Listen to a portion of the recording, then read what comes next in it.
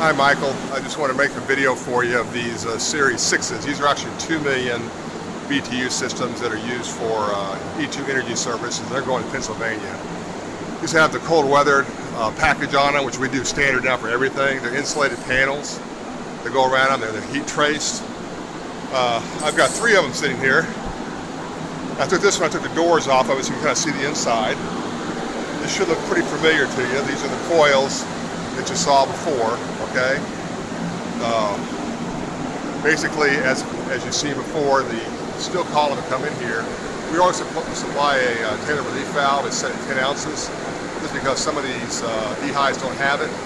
And if it does have it, it's redundant. I like redundancy. It makes my life simpler. It comes in right here. It goes down here, and what it's going to do, of course, is going to drop condensates out. You drop a lot more condensates out in the first section than you do in the other. There's four sections on here. Uh, somewhat oversized, but again, oversized makes my life better. The condensates go down these tubing down here, which we insulate, okay? And they're also heat traced, okay? And down here, that's the blow case, which you don't like. So, you what you would do is you would put a pump down in there to remove the condensates. This right here is uh, pretty standard stuff that we call it a mouse trap basically, if anything ever happens to your blow case and it clogs up, or if you overrun the system, and to be perfectly frank with you, I've never seen it happen on one of ours, but it's kind of an industry standard, if there's such a thing, where it's a separator right here, and, and right here is there's a re, there's a relay and a, and a, level switch, and if the if the if the fluid ever comes up to this point, the Kimray level switch trips, and it puts everything in bypass mode, and it bypasses your combustion your your combustion. That keeps it from uh, uh, putting liquids in there. This is the output of the system right here. You can pull this door off right here. You can see it says manual reset inside. You pull this door off these latches and you can then manually reset it.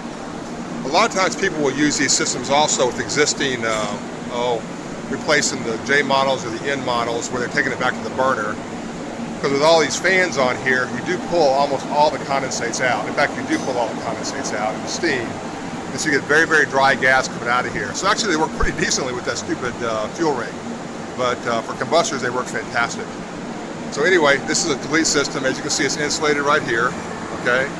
Uh, everything, everything's taped off and everything's, everything's uh, heat traced. Uh, Regency Energy Transfer uses these things. Uh, E2 Energy Services uses them. EQT uses them, and we said we just had had no problems as far as freezing uh, whatsoever. So anyway, I wanted to send you a video of it. If you have any questions, please give me a call. Thank you.